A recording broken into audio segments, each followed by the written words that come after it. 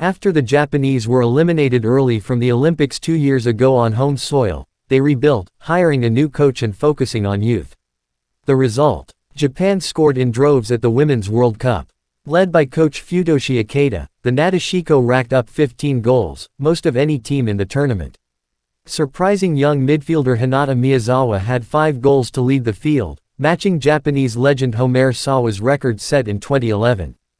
But it wasn't quite enough to hold off Sweden, which knocked Japan out of the tournament with a 2-1 victory in a quarterfinal match on Friday night. Midfielder Jun Endo sat on the field for a long time after the final whistle, sobbing, as Sweden's players celebrated. We knew we were going to play a very skilled and technical team, Sweden's Kosovare Asllani said. We didn't want them to have a lot of time on the ball, because that's when they're the best. Amanda Ilestedt scored a first-half goal and Filippa Angeldal converted a second-half penalty to give Sweden a 2-0 lead.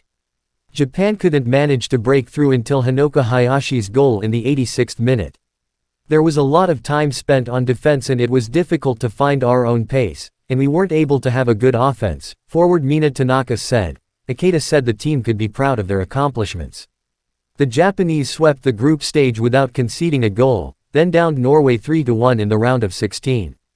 After all, Japan's team was young, with an average age of just 24.9 years. Since I became coach, I knew I was taking them to the World Cup and I, together with the players, have worked hard to this point, he said. The players have become one unit, working in the same direction. We created an environment where each player can grow. In 2011, the Japanese downed Sweden 3-1 in the semi-finals and went on to lift the World Cup trophy after a penalty shootout with the United States.